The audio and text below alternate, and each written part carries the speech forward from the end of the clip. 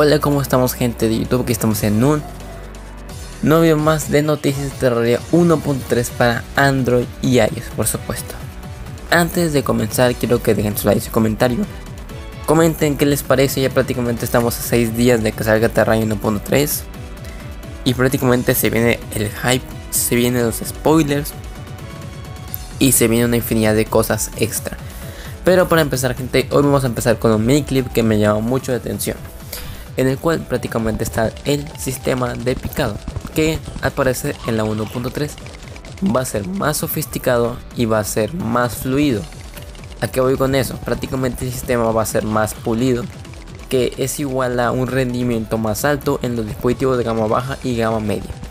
Esto obviamente es positivo. Hay que recalcar que cada dispositivo hace uso de la cierta RAM que tiene y ciertas capacidades que porta. Ahora sí que el dicho celular o dicha marca. Y esto hace mucha referencia a eso, gente. O sea, el picado prácticamente da una gran, una gran diferencia entre un buen juego o un juego malo. Y en lo siguiente, gente, tenemos una imagen que nos da ahora sí Loki. Dice que prácticamente esta imagen está como el Muldor está atacándolo ahí. Y de hecho creo que ya terminó de matarlo. Me llama mucho la atención, ¿sabes qué, me llama la atención? De que los sistemas, o sea, vaya, el sistema de, supongo que es de iOS, quiero suponer yo que está jugando tal vez en una tableta o algo por el estilo. Un iPad o algo por el estilo. Porque los bordes, si se dan cuenta, los bordes de la imagen superan lo que es la imagen de un celular. Hay que destacar que cada dispositivo móvil de Android son varias inmensas. Desde Huawei, LG, obviamente Motorola, entre otros. Samsung, en este caso diferentes marcas, manejan un sistema de U que prácticamente se maneja diferente a los demás dispositivos y obviamente se tienen que adaptar a las posibilidades o a las pulgadas de cada dispositivo Android o en este caso iOS. Y en la siguiente gente tenemos dos imágenes en el cual se ve el sistema de zoom out y zoom in, que prácticamente ahora sí que es el zoom que ahora sí que trae por defecto lo que es Terraria ya sea para alejar el mapa como alejar la interfaz de un objeto o un bioma. Pero en este caso veo lo que son cuatro, quiero suponer yo que son estatuas de los diferentes torres o ahora sí que pilares celestiales, los cuales obviamente al matarlos, si mal no recuerdo, te dan ciertos objetos y ciertos ítems a partir de lo que sería, pues, obviamente después de matarlos. Y cada uno, según yo lo que recuerdo, te suelta un una escultura, la cual ahora sí que puedes ahora sí que ponerla donde tú quieras, simbolizando lo que es la muerte o de que lograste hacer el evento de obviamente el Muldor y el evento lunar, más que nada eso.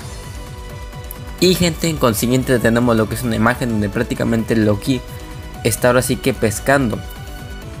Hay que recalcar algo que obviamente él menciona el Summit y Somnum, que prácticamente es el que es el como el que alejas que acercas, obviamente, no sé, para atacar o quizás para enfocarte un objeto especial que digas, oh mira, este objeto me llama la atención, pero quiero verlo de cerca. Prácticamente el sistema de pesca es lo mismo, hecho todo el juego prácticamente maneja el sistema de zoom out y zoom in. Y gente, adivinen qué dijo Loki, dice, los mundos largos para ahora sí que single player, obviamente solitario, son muy grandes para mí. Eso quiere destacar que prácticamente los mundos mega largos, bueno largos en este caso, para la aventura van a ser muy pero muy buenos. La verdad gente esto me llama la atención más que nada para la serie. Ya que si la serie yo la creo obviamente en solitario y con gente, suscriptores en este caso, va a ser una locura crearla en un mundo muy largo el cual prácticamente va a tener zonas infinitas y si no es que va a ser obviamente un límite muy muy muy pero muy altísimo.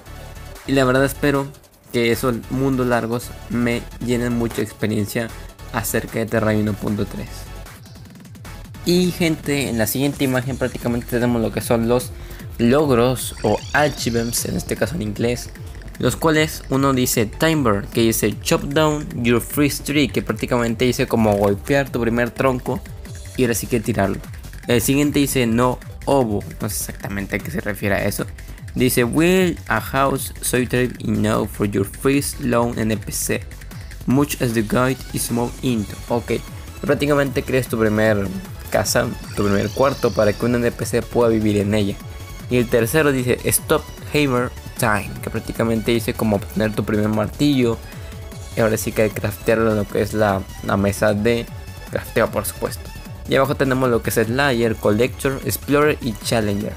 Prácticamente son los diferentes logros que vamos a tener en Terraria 1.3. Y en consiguiente, gente, tenemos lo que no sé si, se dieron cuenta que les mencioné. Los logros prácticamente dice You and What Army. Dice Command 9 Summon Minions simultáneos. O sea que prácticamente dice cómo invocar muchos minions simultáneamente con diferentes tipos de bastones. Solamente creo que se puede invocar uno hasta donde sé. La segunda dice Prismancer, que, que dice prácticamente obtener un arco.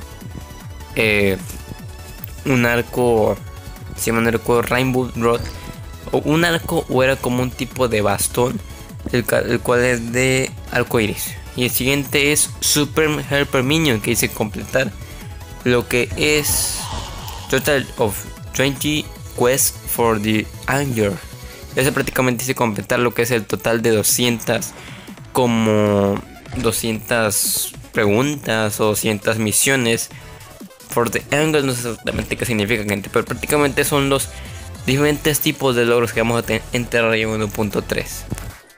Y en siguiente, gente, tenemos lo que es la unidad de contención de taladro, la cual prácticamente se obtiene a partir de lo que sería, em, pues, pocas palabras, se obtiene una montura de entaladro obviamente se queda con 40 lingotes de luminita, 40 lingotes de clorofita, 40 lingotes de piñonita, lingote espectral por supuesto, lingote de piedra infernal, lingote de meteorito y prácticamente se craftean lo que sea el yunque de mithril o el yunque de oricalco.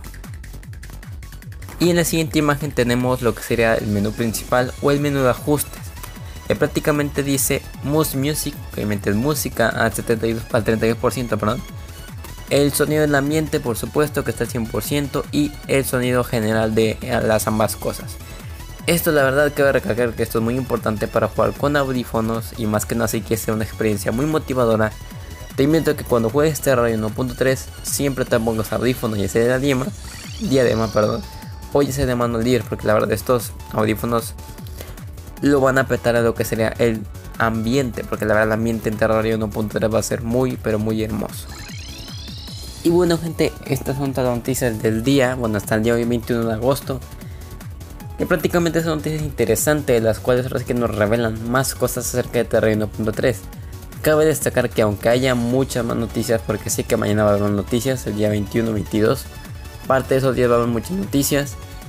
No se preocupen, yo los voy a seguir trayendo con, ahora sí que con total libertad y no se preocupen porque después de la 1.3 voy a seguir trayendo más información, pero de la 1.4 y obviamente diferentes cosas se mencionan de la 1.3 al momento de estar jugando o al momento de estar así que pues probando lo que son ajustes. Más que nada ajustes para evitar tener un lag sorprendente al momento de estar jugando.